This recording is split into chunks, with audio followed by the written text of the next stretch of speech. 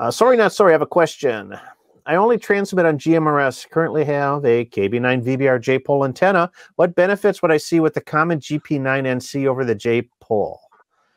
Um, now is the GP9 the GP9 I think is an, a ham antenna, isn't it?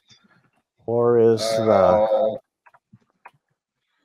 let's take a look here. GP9. Nope, it is a GMRS FRS antenna. oh it is okay. Uh, yeah, it's supposed to be there. So, I mean, realistically, you're gonna have. I'm pulling it up here. Look at the specs on it. Um, Well, I can tell you right now, mine is a lot cheaper than two hundred sixty-five dollars. So yeah, well, there is that. You get a, you get a, uh, some vertical antenna gain, but uh, is that really going to help with GMRS frequencies? Uh, not too much. This would be a Oh. collinear style antenna. Um, I don't know what they have for gain.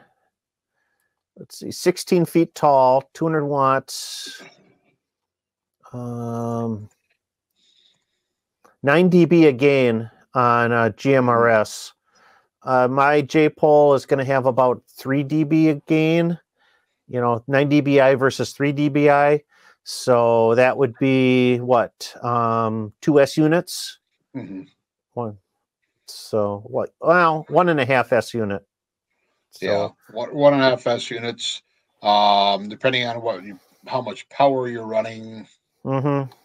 Eh, yeah, you know, I, I think if you're running, what is the, what's the max on GMRS? Fifty watts Fifty watts. the base station. Mm-hmm. Um, yeah, are you going to see a difference, two hundred dollar difference in performance? Eh, Marginal. so. It depends. It depends on what your, you know, terrain and whatnot. What your yeah, what your area is like. right. You know, it's. If I was putting up a GMRS repeater, you know, maybe, I think this would be a would be a good you know a good choice. But Right. um, you know, for home use, um, boy, you know, thirty dollars versus two hundred sixty-five. I know where I'm going to put my money. Right. So. Right. You put put your money in better feed line. yeah, there you, know, go. Cut your cut your losses down. Yeah, yeah. Get a get a GMRS J pole and um, fifty feet of LMR four hundred. You you're you're s- you you've you've still spent half half the amount of money of, Right, of this you're lo- antenna. Right. And your losses on GMRS frequencies are a lot less of the LMR 400. So Yeah, yeah. So, we got sorry's got a follow up here. 50 watts at 50 feet high with LMR. I'm trying to get up over a hill to hit my repeater better. Um, yeah, Boy, you're oh trying to get up over a hill, it's it's all about height. mhm. Um, you know, the gain isn't going to help you at all if you got a rock in your in your way, especially at, Yeah. on um, UHF frequencies. yeah. You might, you know, a directional antenna like a Yagi might help because you can kind of knife edge over the hill, but um, no, it's, I don't know. It's, that's you, you know you you might be in a real tough situation. Um, what I would probably recommend doing is um, do some antenna modeling.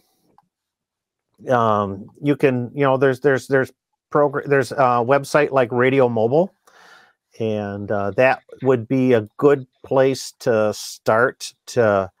Um, I'll pull it up here. And something like this, you can enter the, um, it's, a, and that's just at, at um, I don't know, what's this, E ve2dbe.com.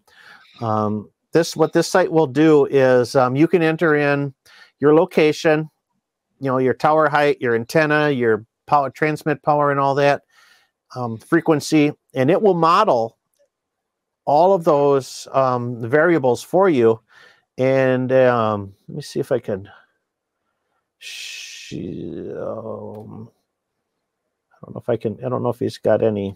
Which yeah, the oh, the online here. Here's the online version. You can just create an account, and it'll it'll plot a map so you can see exactly, you know, what your coverage will be. You know, and what it will take to get over that mountain and um, that might be the you know, before I spent a lot of money on an antenna, I would do a, I would do some um, modeling in, in a program like this to see if it's even possible to to do what you what you want to do.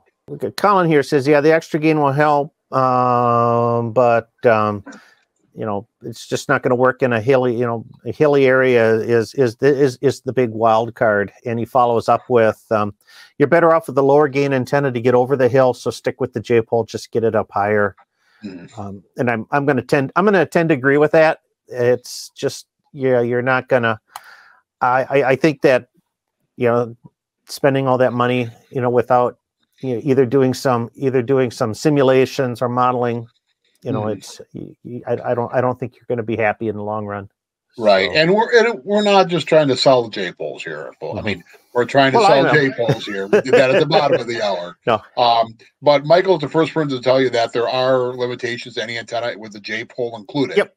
Okay, so um, just, just keep that as a grain of salt as well. If there were a better antenna for this mm-hmm. particular situation, I'm sure we would let you know about it. And I would but, I would tell you about it. And that's why mm-hmm. and that's why I'm I'm kind of pushing, you know, using, you know, using something like radio mobile and or some elevation tools just to kind of mm-hmm. so that you know what you're up against um, before you before you commit to spending a lot of money on anything.